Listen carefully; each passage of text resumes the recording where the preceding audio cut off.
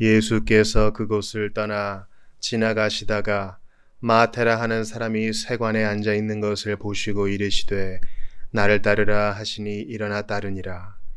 예수께서 마태의 집에서 앉아 음식을 잡수실 때에 많은 세리와 죄인들이 와서 예수와 그의 제자들과 함께 앉았더니 바리새인들이 보고 그의 제자들에게 이르되 어찌하여 너희 선생은 세리와 죄인들과 함께 잡수시느냐?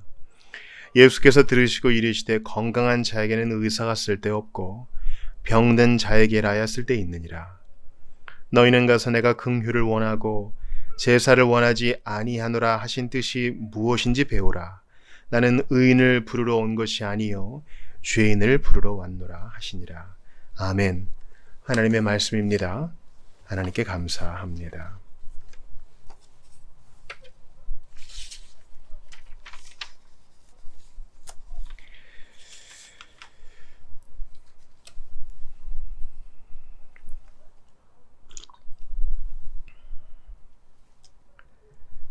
예수님께서 마태를 부르십니다.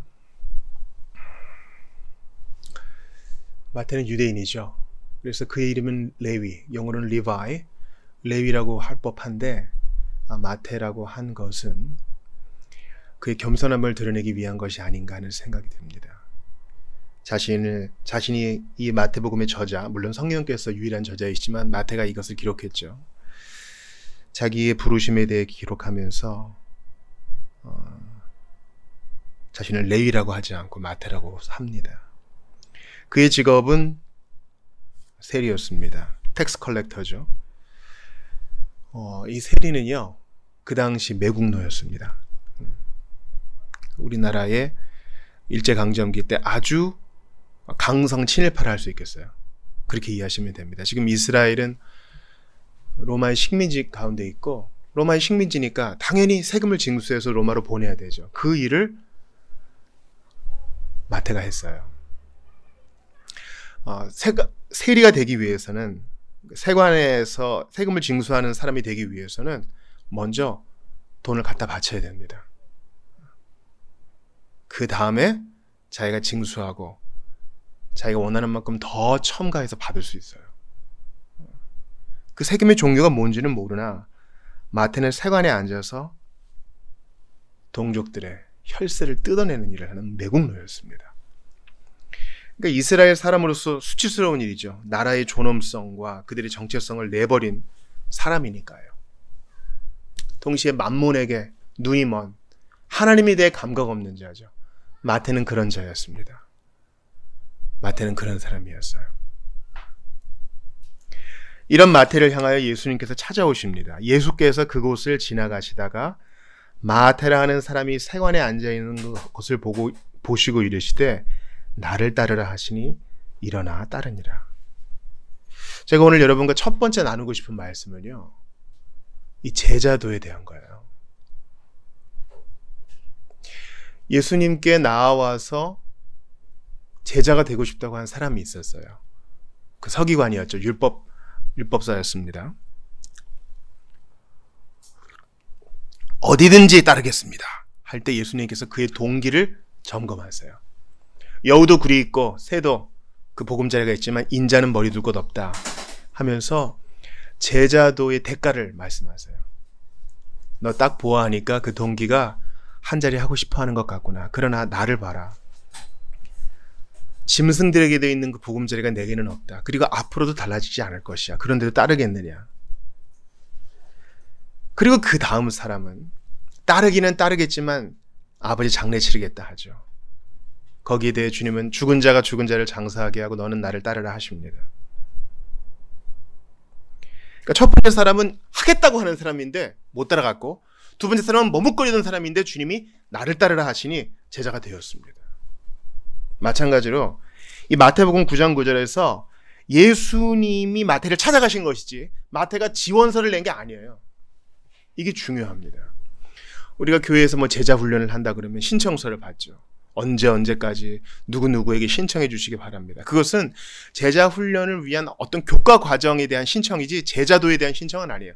제자도의 근본은 바로 주님께서 먼저 찾아오셔서 우리를 구원하셨고 제자도의 근본은 주님께서 먼저 찾아와서 손을 내미시어 내가 너를 제자로 불렀으니 너는 나를 따르라 하는 주님의 주권에 있는 것입니다. 이니셔티브가 주님께 있어요. 그러니까요, 여러분. 마태복음 25장에서 주님이 이제 마지막 날 심판에 대해 말씀하시잖아요. 왼편과 오른편에 있는 사람에게 주님이 심판을 내리시죠. 오른편에 있는 자들에게 뭐라 그러십니까? 이 악한 자들아, 영벌에 떨어져라. 그러면서 이 사람들이 이제 어리둥절한 거예요. 아니, 우리가 주의 이름으로 선지자 노릇도 하고 주의 이름으로 귀신도 쫓아내고 주의 이름으로 기적을 베푸는데 왜 우리 모른다 하십니까? 너 내가 굶주렸을 때 먹을 것 주지 않았고 목말랐을 때 물 주지 않았으며 갇혔을 때 찾아오지 않았어. 저희가 언제요? 이 작은 자에게 안 한 게 바로 나에게 안 한 거야. 반면에 왼편에 있는 자들에게 이렇게 말씀하시고 오른편에 있는 자들에게는 아버지께 복받을 자들이여 어, 상급을 받으라 하면서 이 사람들도 어리둥절한 거예요. 잘한 게 없는데 저희가 언제요? 너희가 내가 목마를 때 목마를 것 주었고 마실 것 주었고 추울 때 입으로 주었고 갇혔을 때 찾아오 주지 않았느냐. 저희가 언제요? 이 작은 자에게 네가 한 것이 바로 내게 한 것이다. 그러니까 이들이 상을 받으면서 도 자랑할 게 없어요. 주님이 주신 사랑으로 감사의 표현을 했을 뿐 나도 잊어먹고 있었던 거죠. 이해가 되시죠? 우리가 구원을 받아 주님께 봉사하고 헌신하고 충성하는 것도 주님의 주권과 주님의 우선성입니다. 오늘 마태복음 9장 9절에서 마태가 제자가 되어서 복음서의 첫 번째 복음서를 기록하게 된 것도 그가 제자가 되어 이전의 생활을 다 청산하고 예수님의 제자가 된 것도 예수님의 주도권에 있다는 거예요. 그러니까 우리가 예수 믿는 것도 한번 급진적으로 생각해 봐야 돼요. 내가 예수를 믿는 것은 이것저것 다 따져봐서, 음, 불교는 너무 철학적이고, 이슬람은 너무 과격하고, 유교는 종교가 아니야. 힌두교는 너무 복잡해. 그래도 기독교가 좀 낫겠다. 이렇게 선택해서 기독교인이 된 사람은 참신자가 아니에요, 여러분.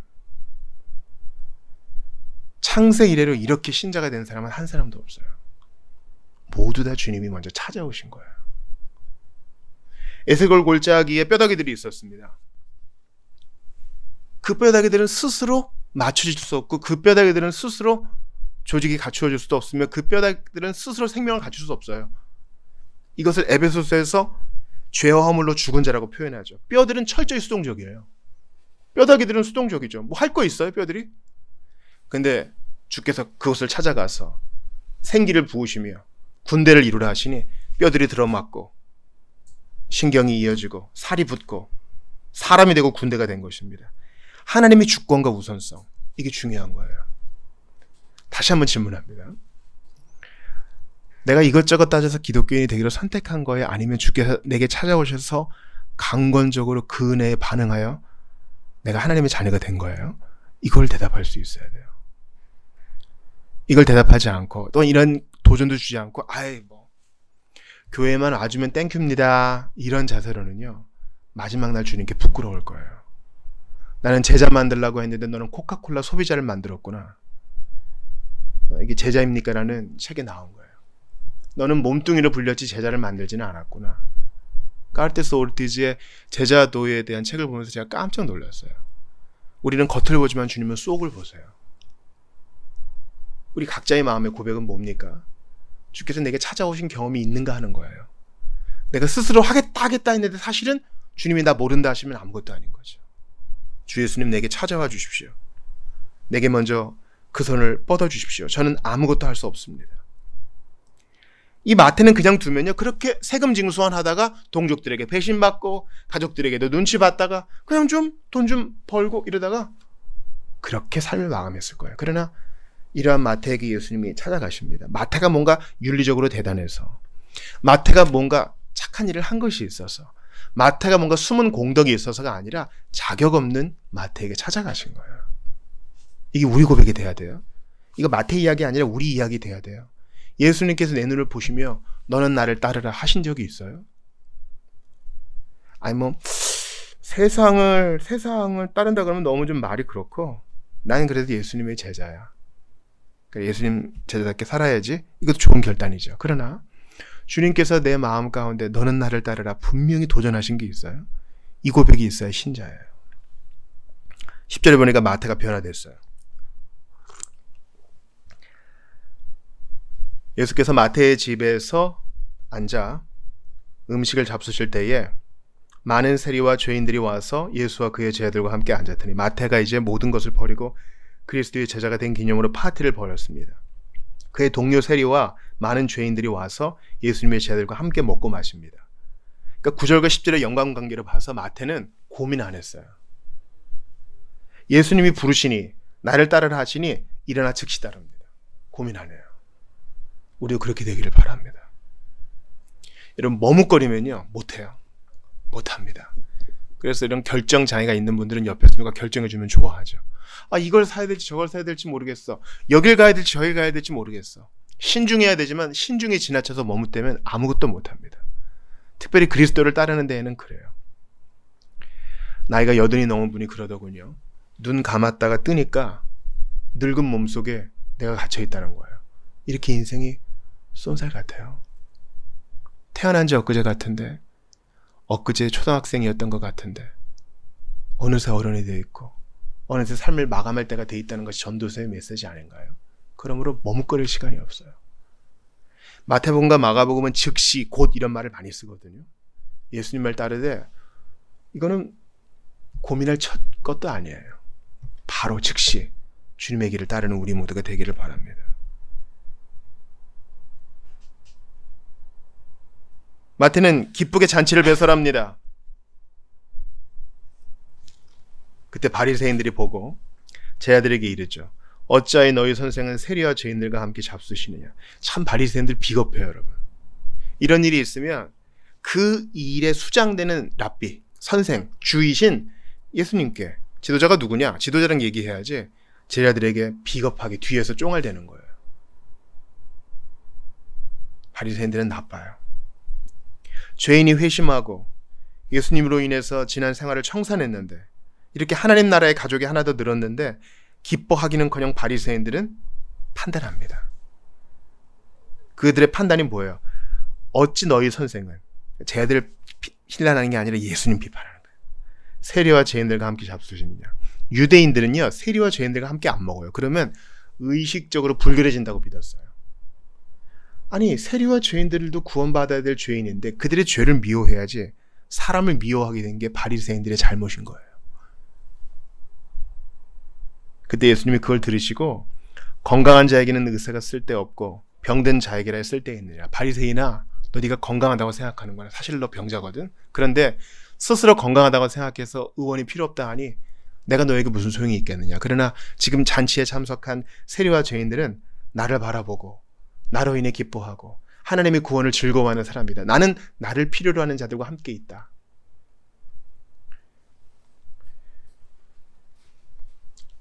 너희는 가서 내가 긍휼을 원하고 제사를 원하지 아니하노라 하신 뜻이 무엇인지 배우라. 나는 의인을 부르러 온 것이 아니라 죄인을 부르러 왔노라 하시니라. 호세 6장 6절을 예수님이 인용하시죠. 호세아 시대의 사람들은 제사 의식은 기가 막히게 잘했어요. 그러니까 뭐 이런 거죠. 오늘날 따지면 11조 안 빼먹고 예배 출석 잘하고 맡겨진 봉사 잘하고 자기 순번 따라 대표 기도도 잘하고 반사도 잘하고 헌신 예배 때 나와서 특송도 잘하고 비전 드릴 때 빠지는 법도 없고요. 그러나 그 마음은 예수님께 없었던 거예요. 그런 것을 호세아가 꼬집습니다. 예수님도 그 호세아 말씀을 인용하면서 바리새인아 너 율법 조문은 잘 지키는구나. 이건 해야 되고 이건 하지 말아야 되고는 잘 하는데 긍휼이 없구나. 최고의 긍휼의 행위는 뭡니까? 영혼의 회심을 증진시키는 일입니다. 영혼이 사망에서 구원받는 것입니다. 이걸 안 기뻐하다니 네 실체가 드러나는구나. 나는 스스로 의인이라고 자부하는 너 같은 사람을 부르러 온 것이 아니라 예수의 얼굴을 바라는 이런 자들을 위해서 왔다. 우리가 오늘 본문을 통해서 배워야 될 몇 가지 교훈이 있어요. 첫 번째는 나는 마태처럼 주님의 우선권을 인정하고 있는가? 내가 한다고 해서 신자가 됐는가? 아니면 주, 주님께서 나를 찾아와 주었는가? 이거 대답하셔야 돼요. 뿐만 아니라 우리는 그냥 일주일에 한 번 예배만 드리는 Sunday Christian이 아니라 full-time Christian이거든요. 나는 과연 주님께서 내게 손님이셨기 때문에 주님의 뒤를 따르는가 아니면 어쩔 수 없이 마지못해 가는가? 이거 답하셔야 돼요. 주께서 부어주시는 사랑과 소명이 너무 크기에 따르지 않을 수 없습니다. 이렇게 고백합니까? 아니면 마지못해 눈치 보며 갑니까? 또한 우리는 마태처럼 자신을 돌아봐야 됩니다. 즉시 돌아보지 않고 다 버리고 따르는가? 아니면 머뭇 머뭇대는가? 철로역전의 크리스천이 장, 멸망성을 떠날 때 그러죠. 뒤를 돌아보지 않고 영원한 구원을 외치며 앞으로 뛰어갑니다. 안 그랬으면 그런 구원 못 받았을 거예요.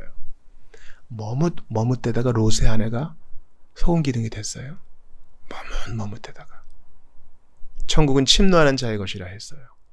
머뭇대지 말고 재지도 말고 충분히 고려했으면 친척들에게 묻지 않고 바울처럼 혈족들과 은은하지 않고 주님의 뒤를 따르기를 바랍니다. 세 번째 여러분과 나누고 싶은 것은 나는 과연 편견 없이 기꺼이 죄인들의 회심을 환영하는가입니다. 이 문장으로는 문제가 없어요. 그러나 이게 내일이라고 생각해 보세요. 우리 교회 공동체 안에, 우리 가정 안에 예수 믿고 들어온 자들이 있어. 아, 근데 그건 참 기쁜 일인 것 같은데 나랑 안 맞아. 우리가 혐오하는 사람들이 혹시 예수 믿는다 그래서 여러분 반감 가지실 거예요? 준비하고 있어야 돼요.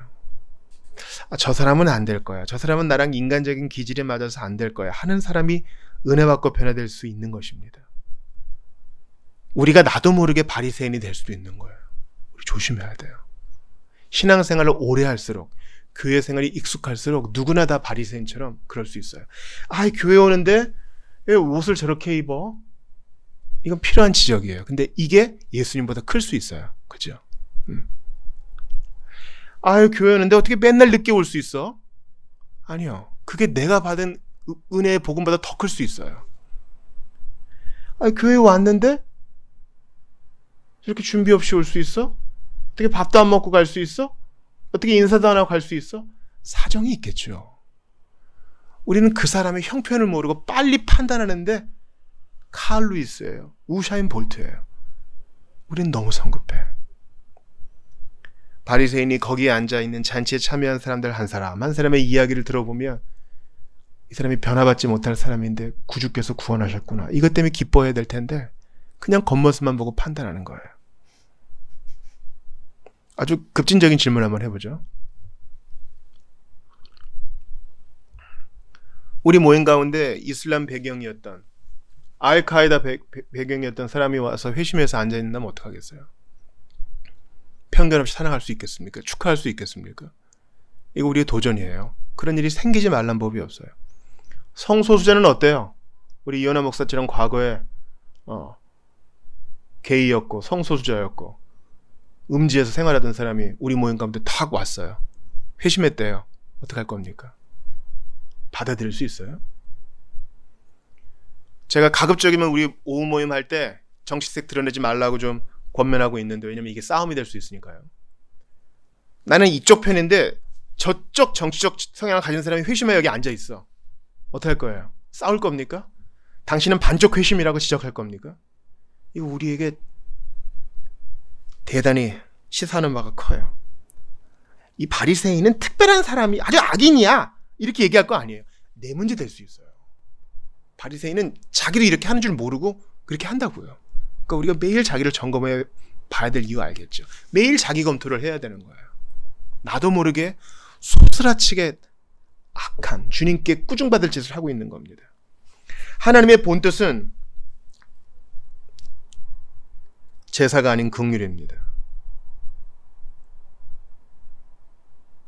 그러므로 주님의 본 뜻이 무엇인가를 돌아봐야 돼요. 그러니까 여기 긴장감이 있죠. 우리 주일 설교 때 배웠죠.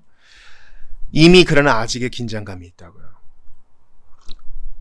약속의 땅을 이미 약속으로 받고 주님이 맹세까지 했지만 난 아직 광야야. 주님이 내가 너보다 앞서 싸우겠다는 약속이 있지만 난 실제로 무기를 들고 싸워야 돼. 이런 긴장감이 있어요. 마찬가지로 이건 목회자의 긴장감인데요. 교육자는 모든 성도들을 다 제자로 훈련시켜야 될 긴장감이 있어요. 책임이 있죠. 동시에 교회는 계속 부족한 사람들이 들어와. 과거 있는 자, 죄 많이 진 자, 지금도 끊지 못한 자, 은밀하게 범죄하는 자. 그러니까 잘하는 사람은 잘하고 아직까지 부족한 사람이 들어와서 계속 평균을 유지하는 거예요. 이해가 되시죠? 어. 아직까지 옛 생활이 남아있는 죄인들이 회심해서 들어옵니다. 이것 때문에 물을 흐리는 게 아니에요. 이미 먼저 그리스도인이 된 사람이 성숙해짐으로 평균을 맞춥니다. 그래서 서로 배려하고 서로 이해하면서 한 가족이 되어 나아가는 거예요. 이게 우리 긴장감이에요. 이게 저의 긴장감이에요. 다 제자가 되, 자 열심히 배우고 열심히 익히고 열심히 실천하자 하는데 아직 준비가 안 된 사람이 있어요. 어떻게 해야 되겠어요? 채찍질을 해야 되겠습니까? 기다려줘야 돼. 기다려줘야 돼. 여러분 본문 오늘 10절 보세요. 예수께서 마태의 집에 앉아 집에서 앉아 음식 잡수실 때 많은 세리와 죄인들이 와서 예수와 그의 제들과 함께 앉았더니 많은 세리와 죄인들이 예수 믿고 제자가 되고 주님을 따른다고 해서 단 한순간에 그들의 기질과 과거의 버릇이 바꿔지는 게 아니에요. 은혜로 기적적으로 바뀌어지는 법이 있을 수 있어요. 예를 들어 이전까지는 막 술꾼이었어. 근데 예수 믿고 나서 이제 술 냄새만 봐도 막 토악질이나 그럴 수 있어요. 근데 다 그렇지 않아요. 담배 피던 사람은 옛날처럼 담배가 끄, 담배가 땡기고요. 음란물에 취한 사람은 옛날부터 다시 거기 들어가고 싶어져요. 또 돈 좋아했잖아요, 세리들. 돈 욕심이 한 번에 안 끊어져요. 그러니까 이런 사람들이 주님의 제자가 되려면 좀 시간이 필요해요. 실수할 시간, 넘어질 시간, 다시 반복할 시간. 우리 주님 말씀하세요. 나는 죄인을 부르러 왔다. 의인 부르러 온 거 아니다. 판단하는 자요. 너 자신만 돌아보고 저 죄인들은 내게 맡기라 주님 말씀하세요. 그러니 우리 회중들을 돌아봐요. 여러 부족한 기도 제목이 한꺼번에 있어요. 주중에 우리 교회에서 반주하다가 결혼하여 정착한 어, 자매가 기도 부탁을 해요. 어, 시어머니가 아주 중병에 걸렸대요. 아, 슬픈 일이에요.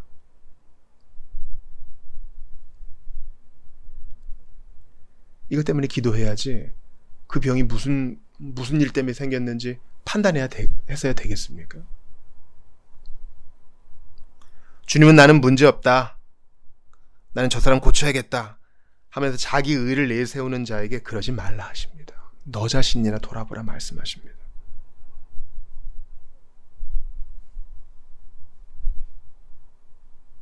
건강한 자에게는 의사가 쓸데없고 병든 자에게라야 의사가 쓸데있다 그래요.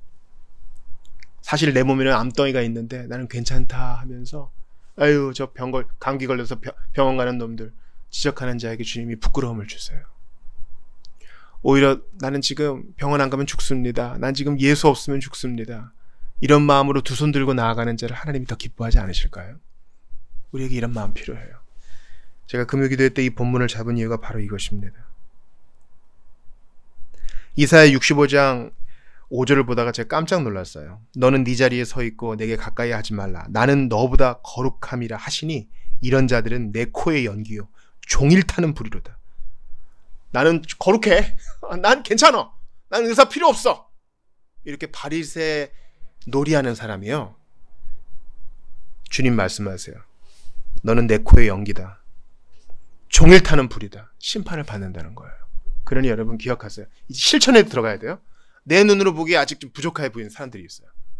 아유, 저것만 고치면 좋을 텐데. 이렇게 좀 되면 좋을 텐데. 기, 일단 기도해 주세요. 누군가 나를 위해 기도해 주고 사랑으로 인내해 주고 실수할 기회를 줬던 거 기억해 주자고요. 예수님도 우리에게 그렇게 해줬는데요. 누군가의 말과 행동 하나하나를 다 트집과 비방의 대상으로 삼기보다 예수님이 내게 하신 것처럼 알아도 모른 척 기도해주고 같이 그 짐을 지고 나아가는 것입니다. 히브리서 12장 3절을 읽어드립니다. 너희가 피곤하여 낙심하지 않기 위하여 죄인들이 이같이 자기에게 거역한 일을 참으신 일을 생각하라. 우리가 낙심하지 않기 위해서 요즘 덥잖아요. 그래서 피곤하고 낙심해지기 쉬워요. 신앙생활도 마찬가지죠. 이렇게 낙심하지 않기 위해서 무엇을 생각해야 된다고요? 죄인들이 이같이 자기에게 거역한 일을 참으신 예수님을 생각하라. 죄인들이 예수님을 얼마나 거역했어요. 나도 그 중에 한 사람이잖아요. 말을 험한 말 써서 미안합니다. 말을 안 들어도 너무 더럽게 안 듣잖아요. 너무 고집스럽게 안 듣잖아요. 하겠다 해놓고 안 하잖아요. 안 하겠다고 하잖아요. 아닌 척하고 하잖아요. 이런 나를 참으셔요. 이런 제 아들을 참으시고 이런 바리새인들을 참으셔요. 왜요? 하나라도 더 구원받으라고. 왜 예수님 빨리 재림 안 해요? 2000년 지났는데.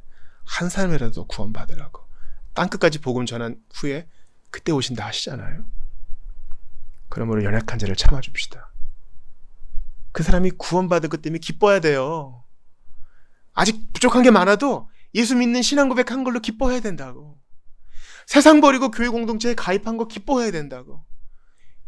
이 좁은 길에 들어선 용기를 주님이 주신 것을 기뻐해야 된다고. 작은 거 트집 잡고 싶지만 일단 그 손가락 말고 나머지 더 많은 손가락이 나를 향하고 있음을 기억하면서 자기를 돌아보는 우리 모두가 되기를 바랍니다. 예수님 주신 은혜로 이러한 놀라운 은혜가 우리 모두에게 있기를 바랍니다. 다른 이에게는 관용을 나 자신에게는 점검을 하나님께 영광을 돌리는 우리 모두가 되기를 바랍니다. 우리 주신 말씀 붙들고 같이 기도 올리겠습니다. 하나님 감사합니다. 주신 은혜 감사합니다.